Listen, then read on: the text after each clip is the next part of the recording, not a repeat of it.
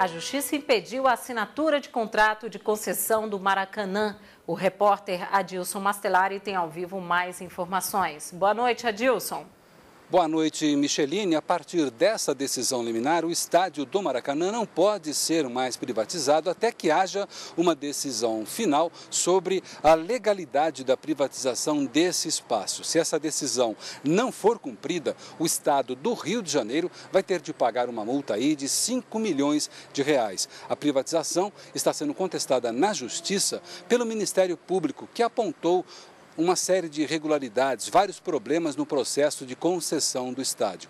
Essa privatização do estádio do, Maracanã, ela foi anunciada pelo governo do Rio em outubro do ano passado, época em que já vinham ocorrendo várias manifestações, muitas contestações e é, denúncias foram parar no Ministério Público e a partir daí esse virou mais um caso de justiça. Voltamos ao estúdio.